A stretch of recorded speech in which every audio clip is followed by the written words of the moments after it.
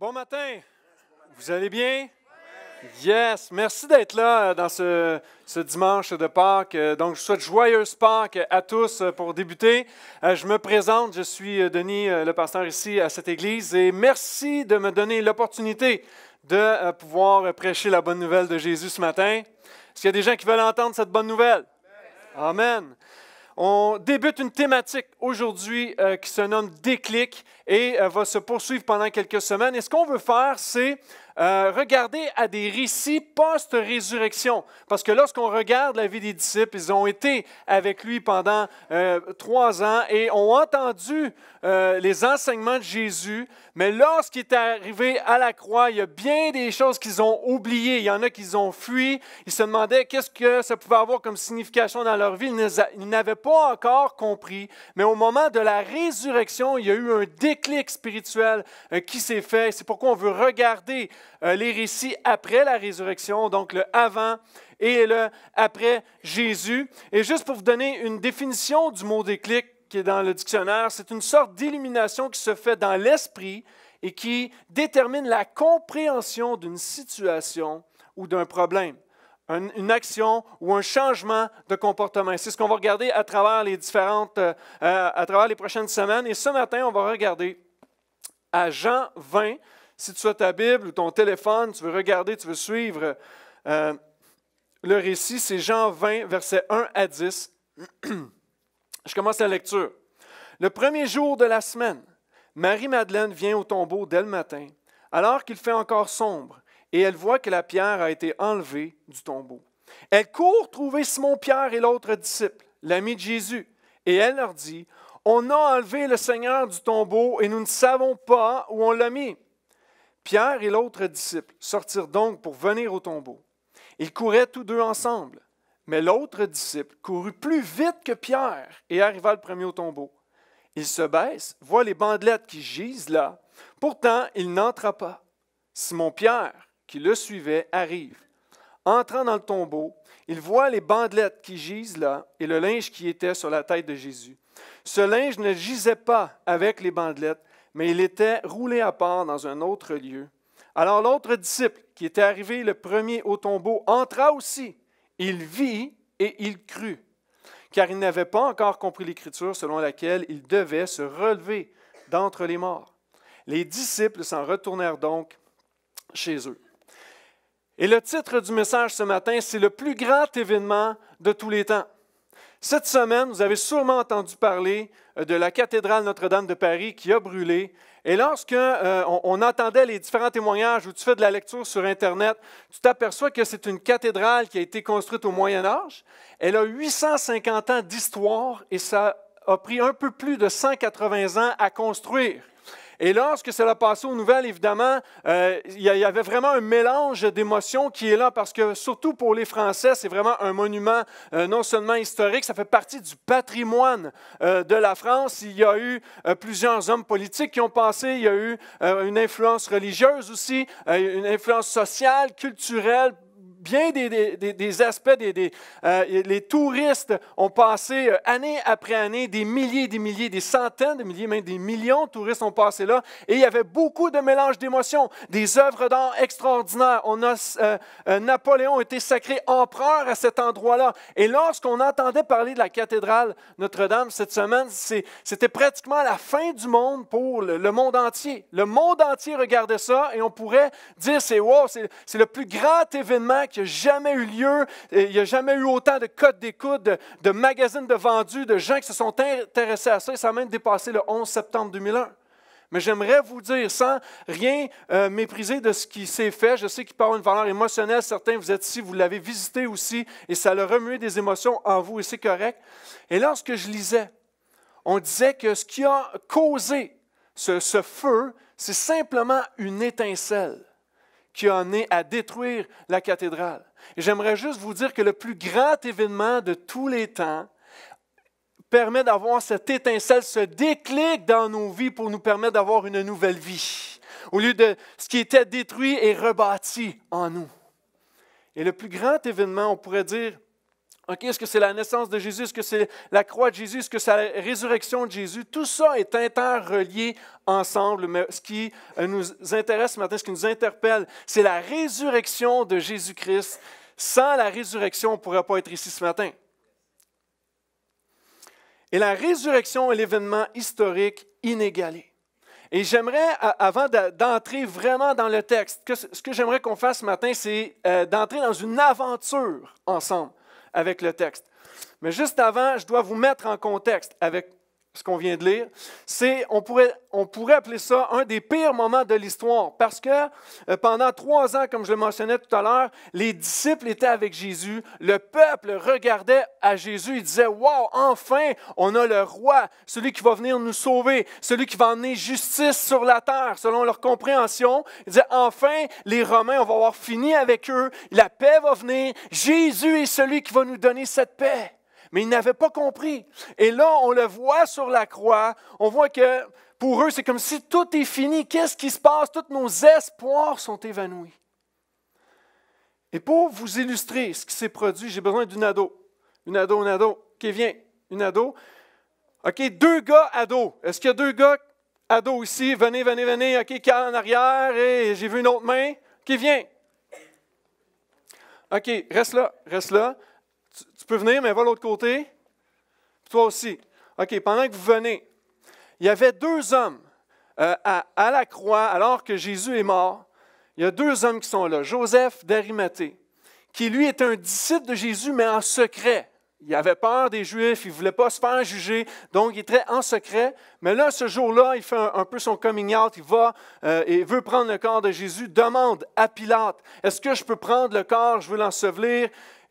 Pilate va dire oui. Et il y a aussi Nicodème, qui est un, homme de loi, un religieux qui euh, cherchait à connaître la vérité. Et Jésus lui a dit, tu as besoin de naître de nouveau. Tu as besoin d'avoir un déclic spirituel dans ta vie. Et du fait que ces deux hommes-là sont là, il y a un processus qui a commencé à prendre place euh, dans leur vie. Et ce qu'ils vont faire, Joseph, OK, j'ai besoin que tu prennes le papier de toilette, OK, c'est les linges que Jésus a été enveloppé avec aide-le et faites le tour d'Eva. OK? Ça, c'est Jésus. OK? Pour aujourd'hui, pour là, tu es Jésus. OK? partez d'en bas jusqu'en haut. OK? Emballez-la, emballez-la. Passez-vous le, rouleau. Ça va, ça va être mieux comme ça. Assurez-vous qu'elle ne s'en fâche pas. C'est vraiment important. OK? Continuez, continuez. Il faut aller un peu plus vite, par exemple, parce que Voulez-vous chacun un rouleau? J'ai deux rouleaux. OK. On va y aller avec deux rouleaux. Puis vous pouvez faire ça vite, ce n'est pas obligé qu'elle soit couverte au complet. OK, l'idée, c'est juste de démontrer qu'ils ont enseveli Jésus parce qu'ils se préparaient à le mettre au tombeau. Et lorsqu'on parle euh, du tombeau, OK, le tombeau, ce que Joseph a choisi, il fallait qu'il ait près de Jérusalem parce que euh, le sabbat allait arriver, il devait faire vite parce que les Juifs ne faisaient rien le jour du sabbat, ils ne travaillaient pas. Si vous les regardez, écoutez-moi en même temps. OK? Il était en train, euh, il devait se reposer euh, le, samedi. Donc, eux se dépêchaient et voulaient le mettre dans un tombeau neuf qui était juste à l'extérieur de la ville. Et pourquoi c'est un tombeau neuf? C'est important que personne n'avait été mis dans le tombeau. Pourquoi? Lorsque euh, les, criminels étaient crucifiés ou étaient accusés de sédition, tu peux en mettre un peu plus, je n'ai pas fini de parler, fait que vas-y, garde-toi, il y a deux rouleaux. euh, J'étais en train de perdre mon idée à cause de ça. OK. Tombeau neuf. Neuf. Merci. Et euh, oui. OK. Un tombeau neuf maintenant, euh, ce que euh, les gens faisaient lorsqu'il y avait un crucifié qui était accusé pour sédition, on prenait simplement l'individu et on le mettait dans une fosse commune. On l'empilait les uns sur les autres. À un moment donné, ça sent pas bon. Il y a des mouches partout. Les oiseaux sont là, picossent. Il y a des morts qui sont là. Et euh, le, rituel des Juifs, eux, mettaient euh, les, crucifiés dans une tombe, mais étant donné qu'ils étaient crucifiés, c'était des pécheurs, et ce qu'ils faisaient, c'est qu'on mettait un, deux, trois, quatre, cinq, six corps. C'était, au lieu d'avoir une fosse commune, c'était ouais, tout le monde dans le même tombeau, c'est des pécheurs, ils ne méritent pas d'avoir quelque chose de mieux, on les met tous dans le tombeau. Mais maintenant, c'est un détail très important pour Jean. Un tombeau neuf, personne n'a été mis dedans. Pourquoi personne n'a été mis dedans? Parce que Jésus n'était pas un pécheur. Jésus a pris notre péché. Il s'est fait pécher pour nous parce qu'il voulait mourir pour toi et moi, nous donner accès à son pardon. Donc, il était dans un tombeau neuf. Personne n'avait été mis. OK, super. Good job, les gars. Restez pas trop loin. Restez pas trop loin. Maintenant, vous allez prendre Jésus, puis vous allez l'amener dans le tombeau à côté. C'est un, tombeau, fictif, mais emmenez-la dans l'escalier. Prenez-la, prenez-la. vous êtes deux, c'est pour ça que je vous ai demandé d'être deux. Une par les pieds, puis euh, l'autre par le corps. Voulez-vous que je vous aide? je, vais la, pencher de même. Es-tu correct? OK, je vais peut-être avoir besoin d'un homme fort après parce que je n'ai pas fini. OK? Oups. Oups. OK. Elle est, dans le tombeau. Imaginez qu'elle est dans le tombeau. Vous pouvez aller vous asseoir. Pas trop loin, mais ça va me prendre un, homme fort pour vrai après. OK? C'est important. Donc, on va reprendre la lecture. Ça, c'est le contexte. Jésus est dans le tombeau. Maintenant, le premier jour de la semaine, Marie-Madeleine vient au tombeau dès le matin. Alors qu'il fait encore sombre, et elle voit que la pierre a été enlevée du tombeau. Je vous ai dit qu'on irait dans une aventure ensemble. Dans ce plus grand événement de tous les temps, je veux juste dire que le tombeau est intriguant. Qu'est-ce qui s'est passé au tombeau? On parle du premier jour. Je vous ai dit que la veille, c'était le sabbat, il ne fait rien faire, il ne fait pas travailler. Et Jean prend toujours le temps de préciser des détails bien importants. Et c'est le premier jour, elle y va dès le matin, il fait encore sombre. Imaginez-vous ok, que demain, ce n'est pas congé. Imaginez, lundi, vous allez travailler et vous êtes les premiers à vous lever. Il est 5h30, il commence à faire soleil, il fait un peu sombre, mais oh, moi je suis excité, je m'en vais travailler. Est-ce qu'il y en a, vous êtes comme ça lundi matin, vous vous levez, plein de joie, plein de motivation pour aller travailler? OK, les rires veut dire non. C'est le premier jour. Et Marie n'a pas perdu de temps pour se rendre sur les lieux. Ça me fait penser quand on entend des pompiers dans la rue, et là, on se dit, oh, il y a un feu quelque part, et, quand j'étais petit, je faisais ça pour mes enfants encore. Je leur dis, oh, papa, on va voir, on va voir, on va être les premiers sur les lieux, voir qu'est-ce qui s'est passé. Et Marie, lorsqu'elle arrive, elle voit que la pierre a été enlevée. Et pour elle, c'était très important, c'était son Jésus, c'était son Seigneur. C'est un peu comme si quand, tu cherches un, objet de valeur ou tu cherches ton téléphone cellulaire, tu dis Wow, il était là, il est où mon téléphone? Et là, tu commences à paniquer parce que tu dis Ta vie est là-dedans, il faut que tu trouves ton téléphone. Un objet a été déplacé, la pierre a été roulée, a été déplacée. Et Marie est un peu déconcertée par ça. Mais il y a quelques vérités là-dedans. Le premier jour, veut dire qu'il y a quelque chose de nouveau qui arrive. Après le moment de sabbat, après la mort de Jésus, il est dans le tombeau, si Jean prend le temps de dire le premier jour, il y a quelque chose de nouveau qui est à la porte. Il y a un contraste entre le matin commence à faire clair et mais c'est aussi sombre, donc le soleil n'est pas encore tout à fait levé. Il y a un contraste lumière-ténèbres que Jean va parler continuellement dans son évangile. Ils ont préféré les ténèbres à la lumière. Jésus va dire, je suis la lumière du monde. Il y a toujours un contraste qui est là et veut démontrer que dans la mort, à ce moment précis, Marie a encore, son, son esprit est encore obscurci. Elle n'a pas encore compris ce que ça voulait dire la résurrection dans sa vie. Et je veux juste t'encourager ce matin en te disant que le tombeau peut signifier quelque chose de nouveau pour toi ce matin. Une, une nouvelle vie disponible pour toi ce matin. Ta compréhension peut être assombrie en ce moment, mais elle peut s'éclaircir aussi ce matin.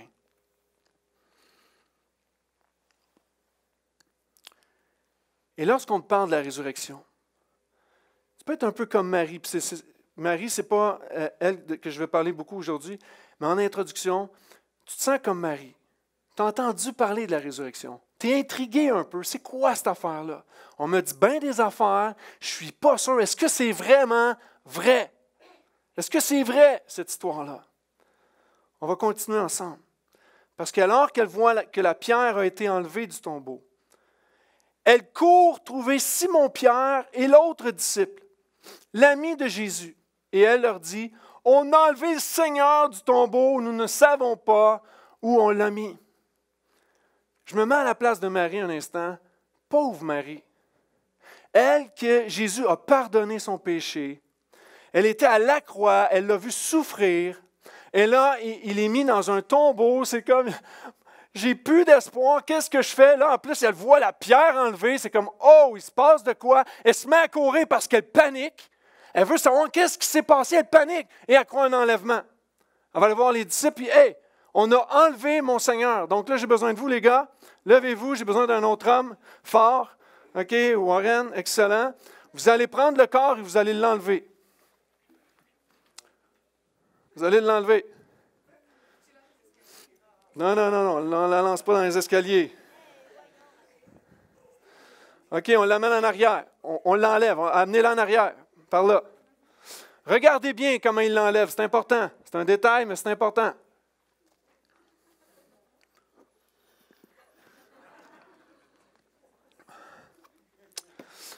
OK, super. Après ça, j'aurais plus besoin de vous. Merci beaucoup. Est-ce qu'on peut les applaudir?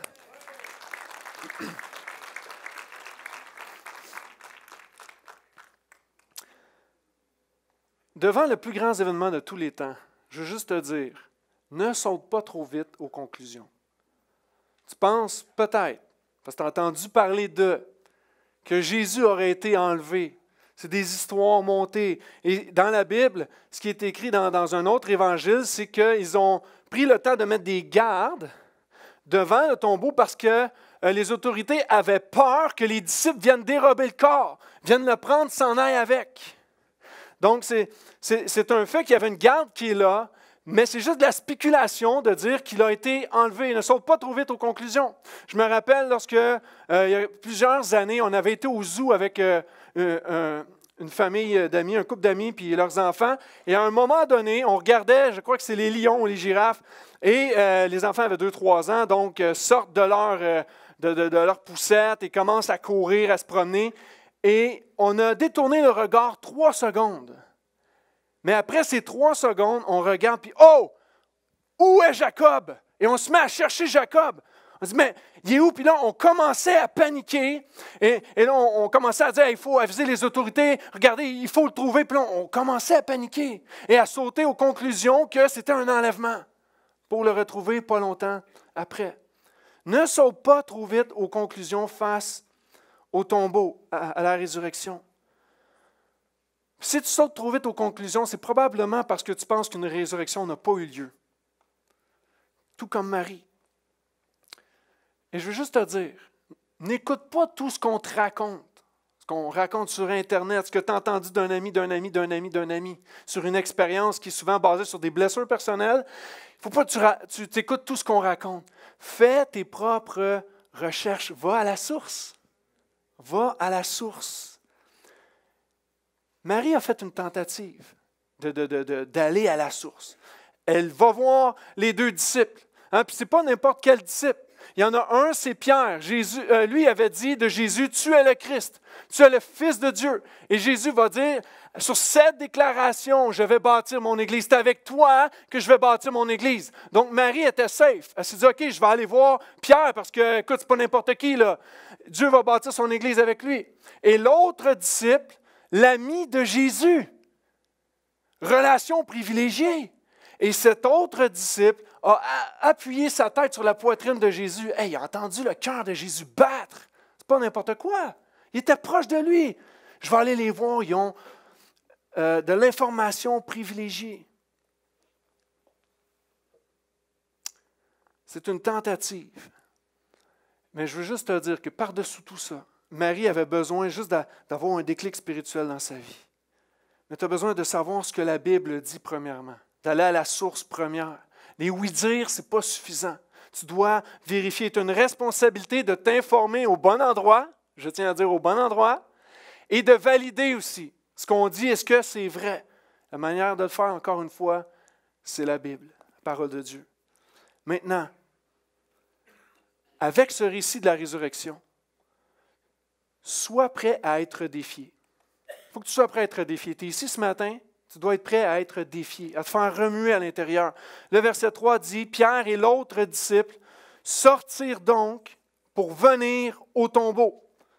Si tu nous visites, je te félicite pour la, simple raison que tu as décidé d'être ici ce matin. Tu es sorti de ton lit. Il fait un peu plus beau qu'hier, mais quand même, on avait envie de rester couché. Peut-être d'aller voir un film en famille, de faire un brunch avec la famille. C'est Pâques après tout, c'est congé. Pourquoi j'irais à l'église? Et tu as décidé de venir, tu es curieux. Tu es curieuse. Et d'autres, tu es chrétien, ça fait des semaines, tu viens fois après fois après fois, puis tu es encore ici ce matin. Tu as peut-être des doutes, des incompréhensions, mais tu es encore là. Je veux juste te dire, tu fais bien d'être ici ce matin. Parce que tu exposes ton cœur à la vérité et tu permets au Seigneur de te défier dans ta vie. Et les disciples ont décidé de sortir à, l'écoute de la nouvelle. Ils n'ont pas appelé 911. Ils ont, non, ils se sont dit, OK, on va sortir, on va aller voir qu'est-ce qui se passe. Ils sont prêts à être défiés. Ils ont pris le défi au sérieux et regardé la suite. Ils couraient tous deux ensemble. Mais l'autre disciple courut plus vite que Pierre et arriva le premier au tombeau. Je peux imaginer une compétition de gars. Ils sont deux. OK, ils courent les deux ensemble. Et à un moment donné, Jean, il court plus vite. Probablement qu'il était plus jeune euh, et euh, sûrement qu'il avait moins de poids un peu aussi. Donc, il se dépêche, il va plus vite et j'avais l'impression, OK, le premier qui arrive, c'est le plus beau. Tout le monde a fait ça un jour quand il était jeune, non? Juste moi? OK. Celui qui est le plus vite est le plus beau. Compétition de gars. Et c'est comme s'ils veulent prendre les choses en main. Eh, OK, attends une minute. On a enlevé Jésus. Il faut aller voir. Il faut aller régler ça. On va prendre les choses en main. Je veux juste te dire que la résurrection n'a rien à voir avec tes mérites personnels. Absolument rien à voir avec tes mérites personnels. Tu es peut-être ici ce matin. Tu t'es dit, ça va me faire du bien d'être à l'Église. Il me semble que j'ai beaucoup péché ces temps-ci, puis j'ai besoin que Dieu me pardonne. Juste te dire que Dieu a pardonné déjà ton péché à la croix. C'était ici, c'est pas pour avoir plus ou tirer plus, puis ah, si je suis le premier à venir, ou je vais essayer de tout comprendre, puis de, remettre ma vie en règle et tout ça. Et, c'est un, un, Tu fais bien d'être ici ce matin parce que tu peux entendre la bonne nouvelle de Jésus, mais ce n'est pas parce que tu es ici absolument que oh, tu vas avoir l'approbation de Dieu. L'approbation de Dieu, on l'a à cause de Jésus-Christ. Il a offert sa vie pour toi et moi. Ce n'est pas que tes mérites personnels. Ce n'est pas de faire plus de prières, de réciter plus de prières. Ce n'est pas de OK, là, je vais commencer à lire ma Bible aujourd'hui, puis toute ma vie, je vais la lire à, tous les jours. Puis ce n'est pas une question de mérite. Ce n'est pas une question de bonnes œuvres. Quand il y a un changement qui prend place, oui, les œuvres viennent avec. Mais ce n'est pas parce que tu te sens une bonne personne, que tu fais des bonnes œuvres, que, OK, là, je crois que je vais être pardonné de Dieu. C'est un cadeau gratuit qu'il a fait. Et ce plus grand événement de tous les temps, ça n'a rien à voir avec tes mérites personnels. Voici ce que, ce que ça dit. Verset 5. L'autre disciple se baisse. Voit les bandelettes. Le premier qui est arrivé se baisse. Voit les bandelettes qui gisent là. Pourtant, il n'entre pas. Simon-Pierre, qui le suivait, arrive, entre dans le tombeau. Il voit les bandelettes qui gisent là et le linge qui était sur la tête de Jésus. Ce linge ne gisait pas avec les bandelettes, mais il était roulé à part dans un autre lieu. Je veux juste te dire que dans le plus grand événement de tous les temps, rien n'a été laissé au hasard. Et ça, c'est vraiment important. Rien n'a été laissé au hasard. Ta présence ici ce matin n'est pas un hasard. Dieu a voulu que tu sois là pour que tu entendes cette bonne nouvelle pour ta vie. Rien n'a été laissé au hasard. L'autre disciple qui arrive, le premier, fait juste se baisser et regarde. Il est curieux, mais pas assez. Il reste au bord. Pierre, essoufflé probablement, très chaud, décide d'entrer direct. Il faut qu'il voit les vraies affaires, il faut qu'il prenne les choses en main. Et là, on s'aperçoit que dans le tombeau, c'est une vraie chambre d'enfant. Il y a du linge qui traîne partout. Et je veux juste dire que dans une, chambre d'enfant, ce n'est pas un hasard que ça traîne. C'est pour que papa et maman ramassent. Ce n'est pas un hasard si les vêtements sont par terre. Et Jean met une emphase là-dessus. Il va voir les bandelettes. Il regarde. Oh! Les bandelettes sont là. Vous avez vu tantôt, ils sont partis avec le corps, il y avait des bandelettes dessus. Les bandelettes sont là. Hein. Comment ça qu'ils sont là, les bandelettes? Mais c'est en train de démontrer qu'il n'y a personne qui est parti avec le corps. Parce que lorsque tu pars avec le corps, évidemment, tu amènes les vêtements avec. Et euh, surtout que c'était des vêtements de lin, et le lin valait très cher. C'est sûr qu'un voleur prend le linge. Je ne sais pas, mais moi, si c'est un linge de valeur, je ne laisserai pas le linge là puis partir avec un corps. J'amènerai tout. Et les aromates, le parfum qui était aussi sur Jésus valait encore plus cher que les vêtements. Est-ce que vous me suivez? Jésus n'a pas été enlevé. Les, les, linges qui sont là démontrent qu'il est ressuscité. Il est ressuscité.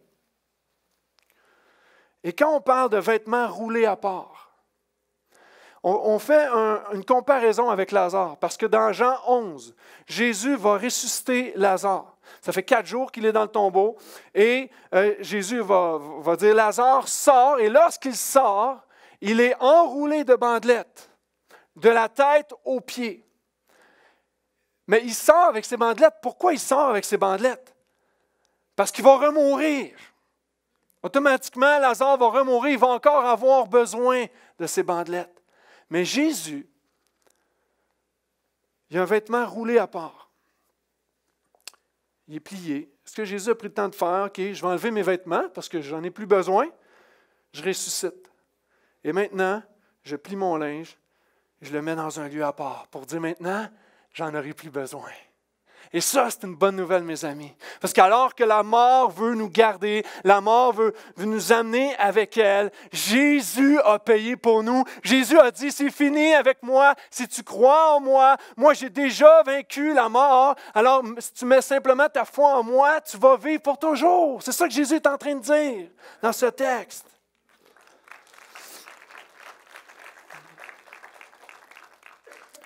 La seule explication à cette illustration, c'est que Jésus est ressuscité. Verset 8. Alors l'autre disciple, qui était arrivé le premier au tombeau, entre aussi. Il vit et il crut. Il y a un déclic qui se fait. Car il n'avait pas encore compris l'Écriture, selon laquelle il devait se relever d'entre les morts. La sixième vérité ce matin, c'est que tu as besoin d'un déclic spirituel dans ta vie. Tu as besoin d'un déclic la Bible va nous dire à, une reprise où euh, les disciples étaient lents à croire. C'est peut-être ton cas ce matin. Tu es lent à croire. Tu n'arrives pas à réaliser toute la puissance de la résurrection. C'est quoi le rapport qu'il peut avoir dans ta vie? Tu peux être lent à croire. Et les disciples euh, ont entendu les prophéties sur Jésus. Un roi était pour venir et il allait euh, donner sa vie. Et ensuite, il était pour ressusciter d'entre les morts, de se relever au troisième jour. Ils ont tous entendu ça, oui par les prophètes, oui par euh, les écrits de l'Ancien Testament. Ils l'ont entendu par Jésus. Jésus a pris le temps de leur dire, je vais vous préparer une place. Puis là, c'est comme, ben non, mais comment tu peux nous préparer une place? On ne sait même pas c'est quoi le chemin. Il dit, ben, je suis le chemin, la vérité et la vie. Donc, tu sais où je m'en vais. Parce que quand tu crois en moi, tu, vas venir avec moi. Mais ils ne comprenaient pas encore les Écritures. Il n'y avait pas ce déclic-là encore. Et quand je parle avec des gens autour de moi, souvent on va dire, ben, je l'ai entendu le message de la résurrection. Ou à Pâques, peut-être tu hésites toujours à venir à l'Église parce que tu dis, ça va être encore un message sur la résurrection. Mais il y a une puissance dans ce message-là. Ce n'est pas un message comme un autre. C'est le message qui, qui nous rend la liberté ultime en Jésus.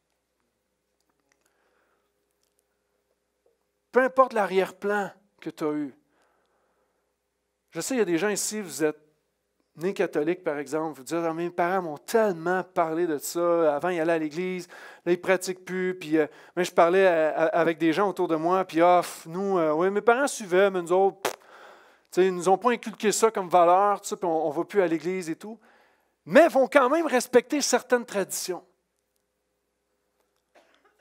On a entendu le message, on sait qu'est-ce qu'il faut faire, mais en fait, on ne comprend pas le message. Et on a besoin d'un déclic spirituel. Et regardez le déclic dans le texte. On parle de l'autre disciple, celui qui est arrivé en premier, qui hésitait pour rentrer. Quand il est rentré, il a vu, mais il a cru. Il n'a pas juste vu ce qui se passait, il a cru, il savait que Christ accomplissait la parole. accomplissait la promesse qu'il avait. Et c'était une expérience personnelle. Il a cru, sa foi est basée sur ce qu'il a vu, c'est-à-dire qu'il a vu les bandelettes. Il savait, oh, attends une minute, il y a quelque chose qui s'est passé. je, crois avec ça, mais aussi il a cru parce qu'il n'a pas vu. Jésus n'était pas là. Alors Jésus a dit qu'il se relèverait d'entre les morts, il s'est relevé d'entre les morts. Il a cru à cause de ce que Christ a dit, du fait qu'il n'a pas vu Jésus dans le tombeau. Et ce matin, tu peux, tu pourrais croire par ah, tout ce que tu vois, puis ah, ça a du bon sens, puis ouais, ce qu'il dit, ça a de l'allure, tout ça. Mais c'est beaucoup plus que ça. Alors que tu ne vois pas Jésus physiquement, tu peux ressentir la présence de Dieu en toi.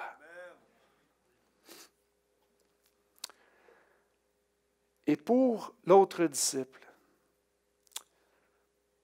il ne pouvait pas témoigner pour Simon-Pierre. Simon-Pierre, c'est le premier à avoir rentré. Simon-Pierre, ce n'est pas écrit qu'il a cru. Il a vu, mais ce n'est pas dit qu'il a cru. Donc Jean ne peut pas témoigner. L'autre disciple, on va souvent l'associer à Jean parce que c'est lui qui a écrit euh, l'épître. Euh, il ne peut pas témoigner pour Simon-Pierre, son expérience à lui, mais lui, il pouvait témoigner. Oui, oui, moi, c'est mon expérience personnelle.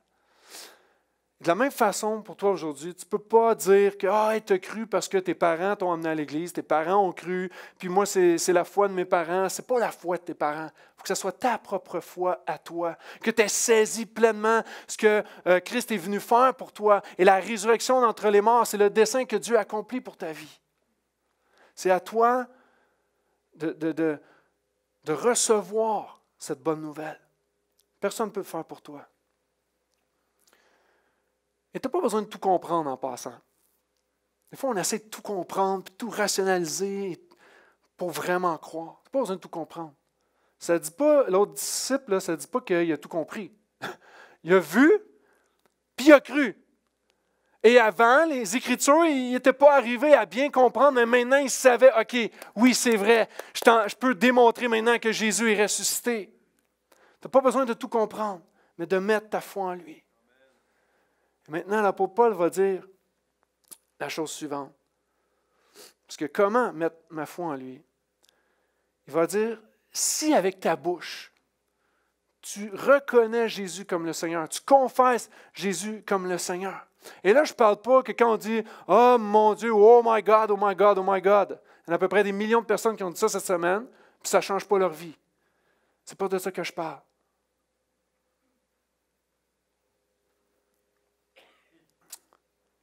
Si tu confesses de ta bouche, tu reconnais en Jésus le Seigneur, ça veut dire celui qui règne, celui qui veut régner sur ta vie. Si tu es prêt à lui laisser ta vie, tu confesses de ta bouche, oui, c'est ce que je veux. Et en même temps, avec ton cœur, si tu crois que Dieu l'a réveillé d'entre les morts, c'est important d'avoir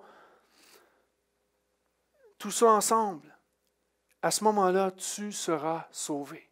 Je veux juste te lancer cette invitation à mettre ta foi en lui ce matin. Oui, tu le confesses de ta bouche, mais tu dois, dans ton cœur, réaliser que, oui, c'est vrai ce qui est annoncé ce matin.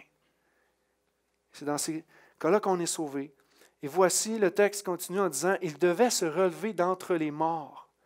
Et la résurrection, autant que c'était un moment sombre juste avant, parce que là, ils ne comprenaient plus rien, ça ravivait l'espoir des disciples à ce moment-là. Oh, parce que ce n'est pas un enlèvement, c'est une résurrection. Ça ravive l'espoir dans la vie des disciples et ça ravive l'espoir dans nos vies à nous aujourd'hui. Parce que si on en entend encore parler, c'est parce qu'il y a eu des témoins oculaires de la résurrection et ça s'est transféré de génération en génération jusqu'à nous aujourd'hui.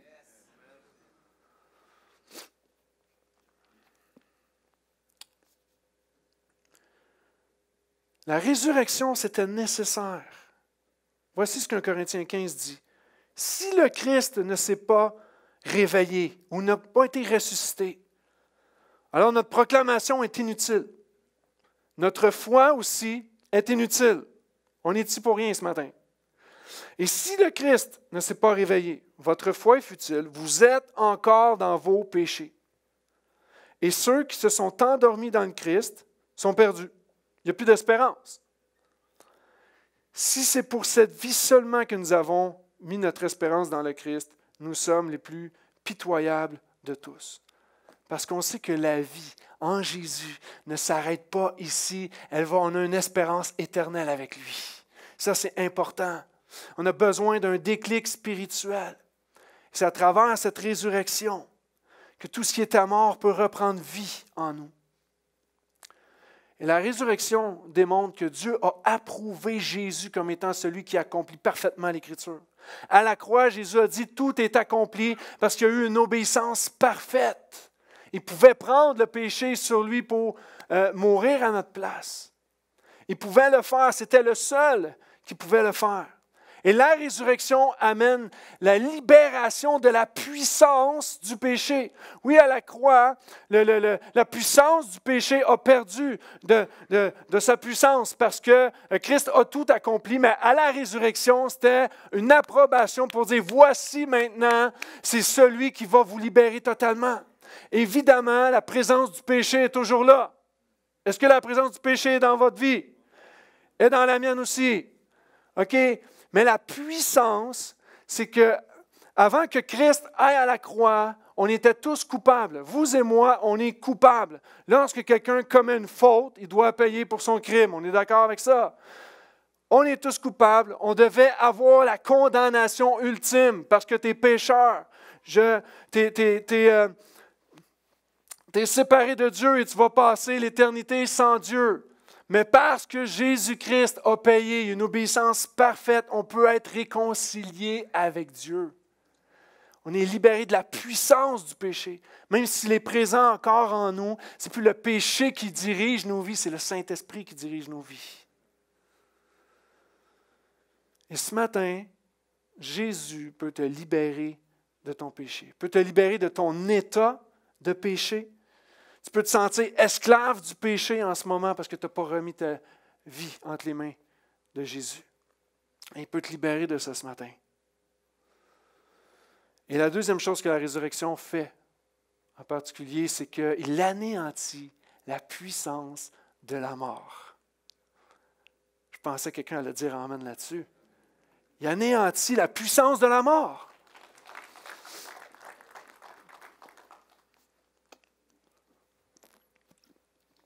Voici ce que Acte 2 dit. Dieu l'a relevé en le délivrant des douleurs de la mort parce qu'il n'était pas possible qu'il soit retenu par elle. Jésus est celui qui a vaincu la mort. Il a le dernier mot. Il nous offre une espérance en lui. Jésus a le dernier mot sur ta vie. Que tu l'acceptes ou que tu le rejettes, il a le dernier mot sur ta vie. Parce qu'en mettant ta foi en lui, tu as accès à cette espérance avec Jésus. Mais si tu rejettes, tu vas avoir une espérance sans Jésus. Ce n'est pas une belle espérance. En fait, c'est un désespoir sans Jésus. Mais la résurrection veut te permettre de vivre à nouveau. Je ne connais pas ta vie. C'est peut-être la première fois que tu es ici. La première fois que tu entends le, message. Mais tu as une décision à prendre aujourd'hui. Qu'est-ce que tu fais avec Jésus, avec la résurrection de Jésus? Et on termine avec le verset 10 ça dit ceci. Les disciples s'en retournèrent donc chez eux. Quand je lisais ça, je trouvais qu'il manquait d'excitation. Jésus est ressuscité, là. Puis ils s'en vont chez eux. Mais en relisant le texte, je trouvais que c'était extraordinaire. Pourquoi? Parce qu'au début, souvenez-vous souvenez du début. Les deux, là, oh, il y a quelque chose, il y a la panique. Ils se mettent à courir, ils se dépêchent pour aller voir ce qui se passe. Mais après, ils n'ont plus besoin de se dépêcher. Ils ont une assurance dans leur cœur. Ils savent que, oh, l'espérance est là. Ce que Jésus nous a dit, c'est vrai. On a une espérance, on peut repartir le cœur léger, sachant que la résurrection de Jésus t'offre une espérance. La résurrection t'offre une espérance. Je vous parlais de Lazare tout à l'heure. Jésus a dit ceci dans le texte de la résurrection. Je suis la résurrection et la vie. Celui qui met sa foi en moi vivra même s'il meurt. Va vivre même s'il meurt. C'est un peu comme vous et moi qui avons mis notre foi en lui, on peut mourir demain matin, on va continuer à vivre. C'est une bonne nouvelle. Maintenant, il va dire aussi quiconque vit, il y a une différence, quiconque vit maintenant, tous ceux qui respirent maintenant, si tu respires, tu es vivant. OK? Quiconque vit maintenant et met sa foi en moi. Aujourd'hui, c'est possible de respirer et de décider, je veux mettre ma foi en Christ. Il va dire, celui-là ne mourra jamais. Est-ce que ça veut dire que tu vas vivre vieux éternellement? Non, ce n'est pas ça que ça veut dire. Ça veut juste dire que la mort ne pourra pas te garder non plus. Oui tu, oui, tu vas aller dans une tombe, toi aussi, mais ton âme va aller avec Christ dans les lieux célestes. Il a dit à ses disciples, je vais vous préparer une place. Ce qu'il a dit, c'est vrai, c'est pour tous ceux qui réalisent que Jésus est la résurrection et la vie.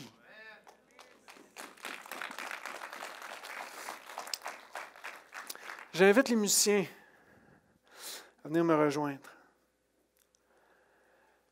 Et les disciples pouvaient retourner chez eux le cœur léger et vivre selon l'éternité, vivre à la lumière de l'éternité.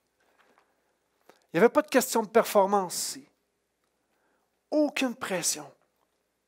La seule affaire qu'ils avaient à faire, c'était croire. Il vit et il crut. Il n'a pas tout compris, mais il crut. Il ne s'est pas fié aux autres, il a cru. Il a suivi Jésus longtemps, a douté, mais maintenant il croit. Parce que Jésus a accompli le plan de Dieu, ce que Dieu avait annoncé. Jésus l'a accompli. On peut avoir la vie aujourd'hui. La résurrection change notre perspective. On ne vit plus pour ce qui est visible. Hein? Les gens nous reconnaissent, puis qu'on oh, on a une influence dans la vie. On ne vit plus pour ce qui est visible. On vit pour l'invisible. On vit pour l'invisible. On ne vit plus pour nous. On vit pour les autres. On ne vit plus sachant que la mort veut nous réclamer. Non, Jésus nous réclame. Et nous sommes assurés d'une vie meilleure et plus grande dans l'éternité. Ce que tu vis aujourd'hui est passager. Lorsque tu mets ta foi en Jésus, ça ne veut pas dire qu'il n'y a pas d'épreuve. On a tous des épreuves ici. Ça veut juste dire qu'un jour, il n'y en aura plus d'épreuves. Un jour, il n'y en aura plus de maladie. Un jour, tu n'auras plus besoin de souffrir. Parce que Christ a vaincu la mort. Amen. Amen.